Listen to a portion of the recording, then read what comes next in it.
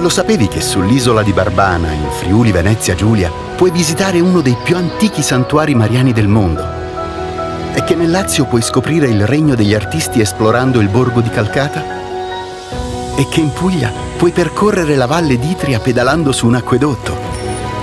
Paesaggi e cammini, natura e sport, arte e sapori.